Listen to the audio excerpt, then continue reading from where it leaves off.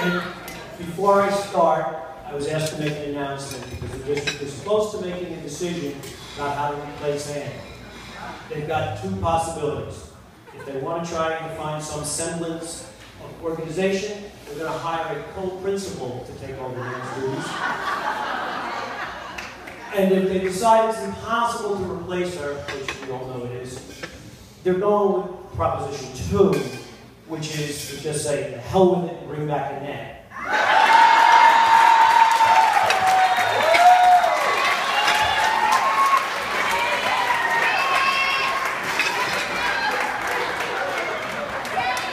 When, when I was told I was going to speak today by uh, Marie and Debbie, I thought it was because at this point I have worked longer with Ann than anybody else in the district.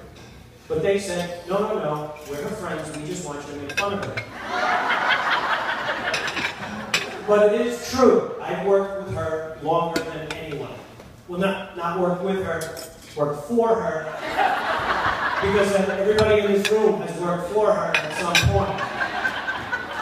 She's in charge, she's the boss, do what she says, and maybe you'll survive.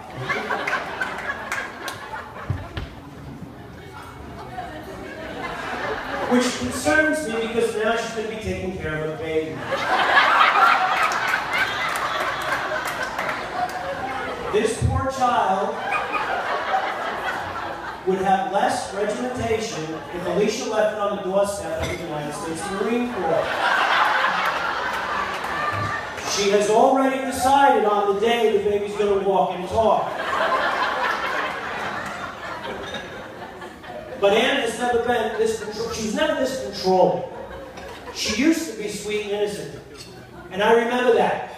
So I thought I'd kind of try and explain how she went from sweet innocent to Ann. She started her career at Robert Frost working for principals Dick McTeague and Dick Levesque. And working for a couple of Dicks really prepared her. That's names. For taking charge and taking over. She knew if the school was going to run smoothly, she'd have to do it herself. And working for the two Dicks really prepared her for the day that Jim Cummings would become principal.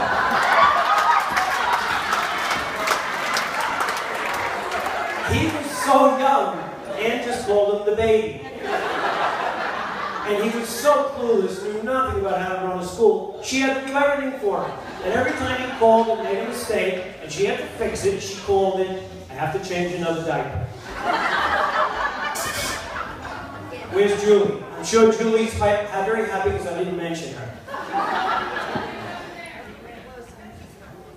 She's here? See, I didn't mention you. You happy? I didn't mention Julie because Julie was the one principal that actually took some of the burden off Ann's shoulders. Until they banned smoking inside the school building. Then Julie spent most of her time outside the school building and Ann was back in charge. And that leads us to Eliana, the principal that finally drove Ann out.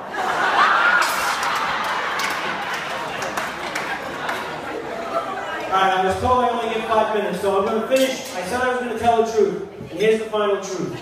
There has never been anybody more indispensable to the success of Robert Frost than Anne. Now I don't for that.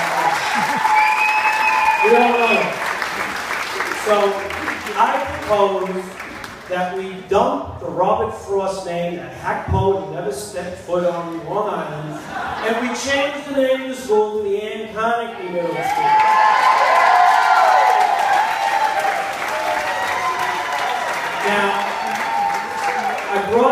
Suggestion to our illustrious superintendent, and it met with a decent response.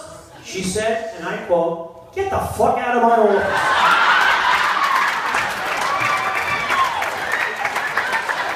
She didn't say no, so there is hope and if the district won't do it, I'm sure I can organize the boys, we can go change the sign ourselves. So, thank you very much, I'm sorry.